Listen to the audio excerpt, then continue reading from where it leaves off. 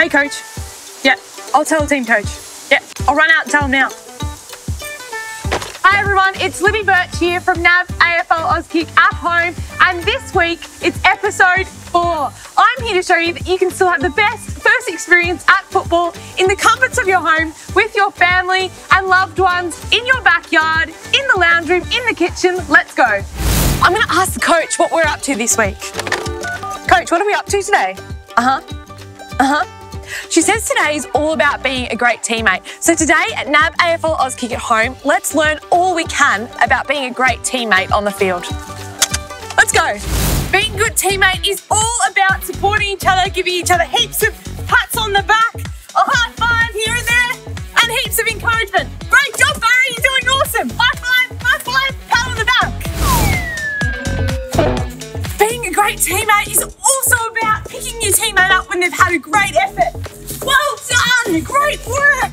That was an awesome ground ball! Good job, Elizabeth! Let's go! Now, before you start any game or any Auskick, make sure you shake hands with your opponent. Now, Barry's a bit tall, he's about 6'1, so he has to bend over for me. All right, let's have a great game, Barry! All right, every NAB AFL Auskick at home starts with a warm-up. Today, we've got a couple of games for our warm-up, so grab mum, dad, your guardian, sister or brother, or Barry, the uh, pretend opponent that you've made for today's game. The next game is all about touching your opponent's knees. Now you've got to try and touch it as many times as you can, and you've got to try and evade your partner's hands from touching your knees. All right, we ready to go? Let's do it. Are you going? One to me. Wait, one to me. Yeah. Oh. Go. Come on. The next game is all about testing your reactions. So, with your teammate in front of you, you've got a cone or a football in between you at equal distance, hands behind your back. When the whistle goes or there's a clap or a sound, it's a race to see who can pick it up. All right, I'm gonna win. Listening for that whistle. Eyes of Steel is listening out for the whistle. Got it again. Yes! Make sure you keep doing it until you're happy, warmed up, and ready for some Auskick. All right, it's time to play Angry Ogre. Now, Elizabeth back there, my teammate, is going to play Angry Ogre. Now, when she turns around, it's up to me to try and steal those box of balls that she's got in front of her. But if she turns back around to face me and her eyes are on me, I've got to freeze. Then she'll turn around again and I can creep up if she faces me again, I gotta freeze. Let's play. She's moving out. Yes. I can go, I can go.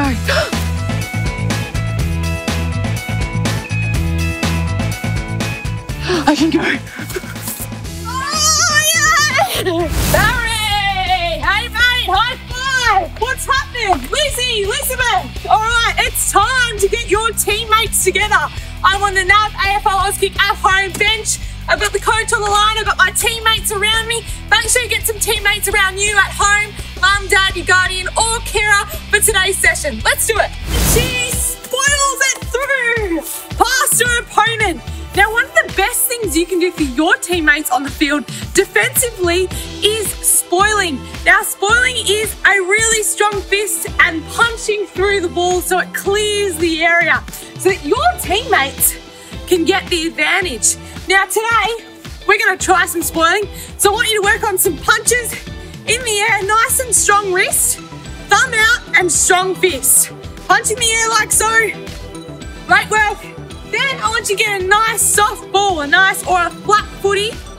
I've got a flat round ball here. And I want you to just punch it up to yourself, catch it with two hands. Punch it up to yourself, catch it with two hands. Punch and catch. Punch and catch. Now, your teammates will love you if you can spoil the ball away from your opponent's hands. The next thing I want you to try and do is try with a footy if you didn't already in the last game-based activity. So pick a footy up. Now, remember, spoiling is really important.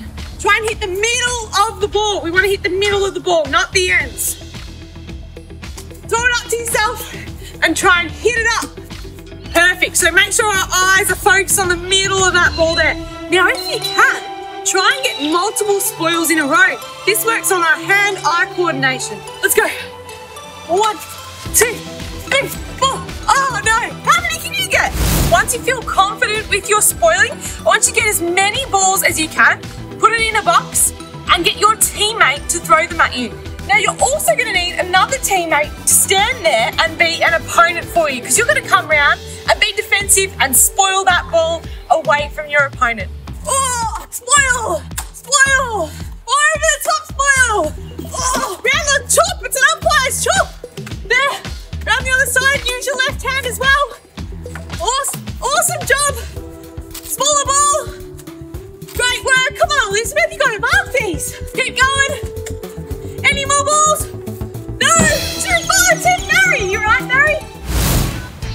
And there's been a mark! Make sure you get on the mark! Alright, the most important game-based activity is actually making sure we get up to the mark when our opponent takes the footy. Now, it's really important we do this because it delays the play so that we can get our teammates in position.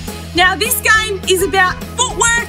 It's going to get our heart pumping, our breathing up. Every time the whistle blows, I want you to get to a cone, man the mark hard. When the whistle blows again, get to another one, man the mark hard, and we're to keep going for 30 seconds. Let's do it. Take it, kid. Come on. Come on. Go, Barry. Go, Barry. Kick over me. Under the pressure. Last one. Get your feet moving. Activity is all about manning your opponent and then getting up the ground to intercept the footy. Now, your teammates will love you if you get on your player, stick on them, and wait for the opportunity to seize back possession for your team. Get your teammate to yell out which cone or which player to get to. So, my teammate, I yell out, get to Elizabeth, get to Elizabeth. I've got to get to Elizabeth. If they yell out, get to Barry, Barry's fading away in the wind here. Get to Barry, get to Barry. I've got to get on him. And then as soon as I hear the word ball, I've got to sprint up, take the footy, mark it, or pick up a ground ball or pick a handball up. Barry, Barry, Barry, it's all right, mate, it's all right. No need to fall over. Barry. Elizabeth, That's Ball. Oh, taking a handball back. To add some more difficulty, you can add cones and get your teammate to say left cone, right cone. So I'll place them down now. Right, start in the middle. Elizabeth, Listen. left cone, Left cone. Barry, Barry. Paul, Ball. One more. right cone, Right cone. Elizabeth, Elizabeth, Paul, Ball. Ah. Siren sound, it's half time. He's injured. I'm gonna help him. Coach, I'll get him right for you. Yep, I'll strap it good. No worries. You hurt his shoulder in that last contest. Put some more tape on it. How's that, mate? Feel better? Great. High five. Wave. Awesome. We're right. Hey, coach. Barry's right. We're ready to play. Let's go, Barry. Teammate is all about trying your hardest to get the ball once you get the opportunity. So it could be a ground ball, but if you don't get that, you could go for the mark, then you could go for the tackle, the spoil. It's about second, third, and fourth effort. So keep trying until your team wins that ball back. So what I've set up for game-based activities, second, third, and fourth efforts is I've got my two opponents here. Now these could be your teammates at home, so your. I've got a wheelbarrow here for target. So if I get the chance to get a handball, I'm gonna hit the wheelbarrow. Next, if I get the chance to have a kick, I might kick down my backyard.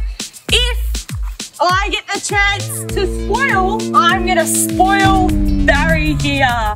The point is set up your arena and be ready for anything, just like on a football field. Oh,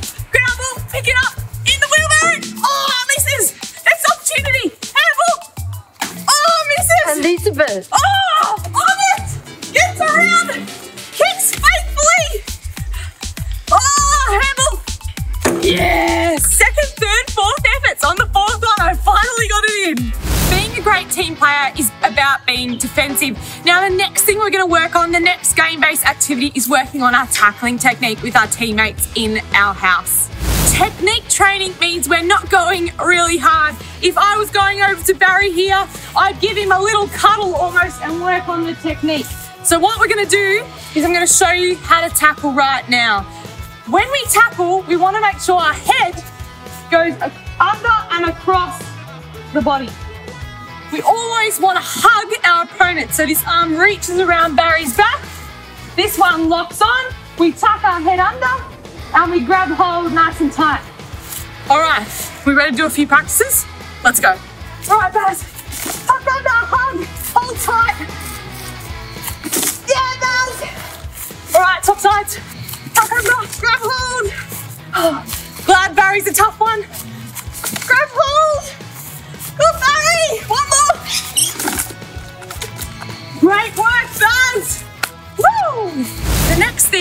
Can do for your team to be a great team player is shepherding. Now, I've got the perfect game based activity for you to work on at home so you can be a great shepherding player.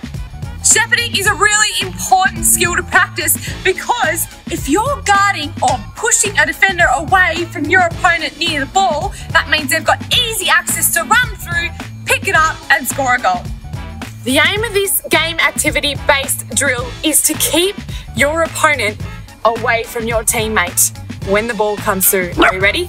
Let's go. Cooper's ready. oh, go, go, Elizabeth, get the ball, get the ball, Elizabeth. Take it, take it, take it, take it, take it. Ah! Good, we've protected all three balls. My opponent hasn't got it. And if my teammate here had better running technique and ability to pick up the ball, she might have got through. Next game based activity is all about trying to find your teammates with a handball or a kick. Now, I've got Lizzie, Elizabeth, and Barry behind me, and I've got to try and find them with a kick or a handball. So, absolutely nail them in the sweet spot on their chest. Now, we do this in a game because football is all about team. Barry's calling you name, he wants it, he's got his hand